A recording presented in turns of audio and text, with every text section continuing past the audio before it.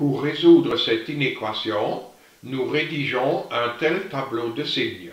D'abord, nous écrivons une ligne pour la variable x, ensuite une ligne pour chaque facteur. Donc une ligne pour 3x plus 1 et une ligne pour 4 moins x. Ensuite, nous regardons les racines de chacun de ces facteurs. La racine de 3x plus 1, c'est moins 1 tiers, et la racine de 4 moins x, c'est 4. Ces deux racines, nous les écrivons dans ce tableau, et ce, dans l'ordre arithmétique croissant. Donc d'abord moins 1 tiers, puis le 4. Comment on écrit les signes d'un binôme du premier degré, c'est expliqué en détail dans ce tutoriel F4018 qui s'appelle le binôme du premier degré. On fait comme ceci. Si x est égal à moins 1 tiers, alors 3x plus 1 est égal à 0. Donc là, nous écrivons un 0. À droite de ce 0, on écrit toujours le signe de A, c'est-à-dire le signe du coefficient de x dans ce binôme. Le coefficient de x pour 3x plus 1, c'est 3. 3 étant strictement positif, à droite de ce 0, nous écrivons partout plus. Et à gauche du 0, le signe opposé. Ceci, c'est également un binôme du premier degré qui s'annule en 4. Donc si x est égal à 4, alors 4 moins x est égal à 0. Donc là, nous écrivons 0. À droite du 0, on écrit le signe de A.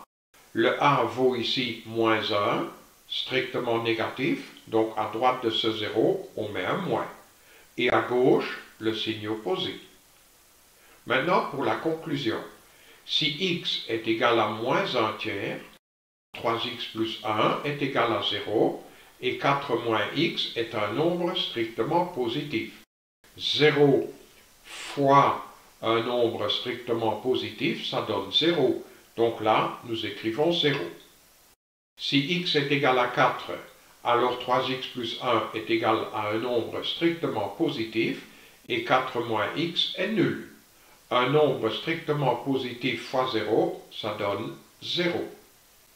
Si nous prenons un nombre x strictement plus petit que moins 1 tiers, alors ce binôme donne un nombre strictement négatif et ce binôme donne un nombre strictement positif.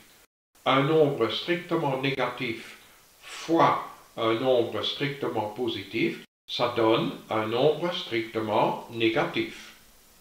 Si nous prenons un x strictement entre moins 1 tiers et 4, le premier binôme donne un nombre strictement positif, le deuxième binôme aussi, et positif fois positif, c'est positif. Donc là, on met un plus. Si x est strictement plus grand que 4, ce binôme donne un nombre strictement positif et ce binôme un nombre strictement négatif. Positif fois négatif, c'est négatif. On demande ici pour quelle valeur de x ce produit est plus petit ou égal à 0. Ça, c'est la ligne de signe de ce produit. Plus petit ou égal à 0, c'est dans ce domaine-là et aussi dans ce domaine-là. Nous marquons ces deux domaines en vert et maintenant nous glissons ces deux domaines verts vers le haut jusque dans la ligne des x, donc comme ceci. Et ce tableau signifie, si x se trouve dans ce domaine-là, alors ce produit est plus petit ou égal à 0, et si x se trouve dans ce domaine-là, alors ce produit est aussi plus petit ou égal à 0. Par conséquent, pour que cette inéquation soit satisfaite, il faut et il suffit que x appartienne à cet intervalle-là, ou bien à cet intervalle-là. Et par conséquent, l'ensemble solution de cette inéquation, c'est l'union de ces deux intervalles. Le premier intervalle, ça va de moins l'infini, comme toujours exclu, jusqu'à moins un tiers, mais inclus, puisque moins un tiers est également en vert.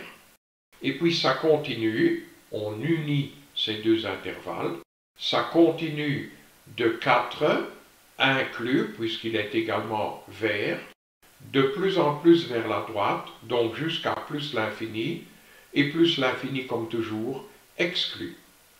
On peut vérifier cette solution, par exemple au moyen de GeoGebra. Ici, je vais tracer le graphique de cette fonction. Le voilà, c'est cette parabole. Et nous constatons que, effectivement, si x se trouve à gauche de moins 1 tiers ou bien à droite de 4, alors le f de x est strictement négatif puisque toutes ces images sont dirigées vers le bas. En moins 1 tiers et en 4, le f de x est égal à 0. Et si nous prenons une valeur de x entre moins 1 tiers et 4, alors ce x a une image positive puisque dirigée vers le haut. Voilà, ce graphique confirme bien ce que nous avons trouvé et cet exercice est terminé.